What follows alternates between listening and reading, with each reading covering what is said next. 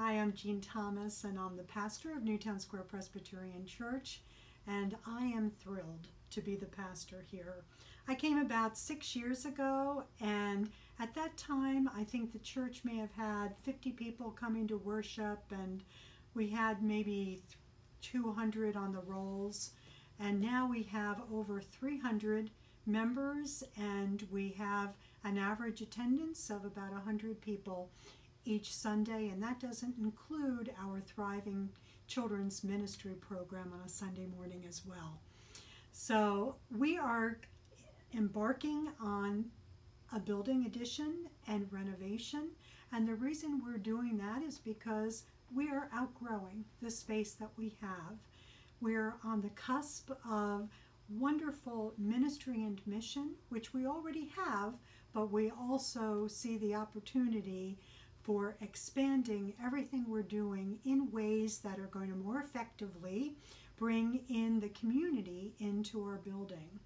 And we're going to be doing that through a multi-purpose room which will have enough space for anything from a speakers series to music programs to children's ministry opportunity to expanding our Rise Against Hunger program or other mission opportunities that we do here in the church. There will be more room.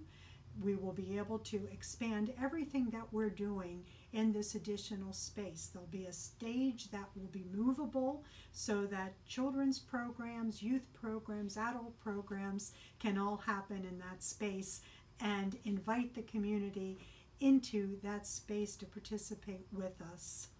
We also have a music room that's going to be moved from the lower level of the building up to the first floor so that the choir and other people who might want to take advantage of that space again just have to go around the corner and there is this multi-purpose room where they would be able to have a performance if they chose to do that.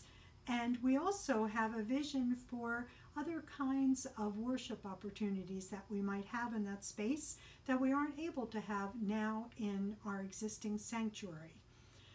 We have a wonderful sanctuary with wonderful traditional worship, but we also see the opportunities to expand that vision of ministry and worship into other opportunities that we can't take advantage of now, again, because of our space constraints.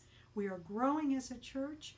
We are growing as a community of faith, and our vision is growing with it, and we're excited about the opportunities we have with this building expansion and renovation.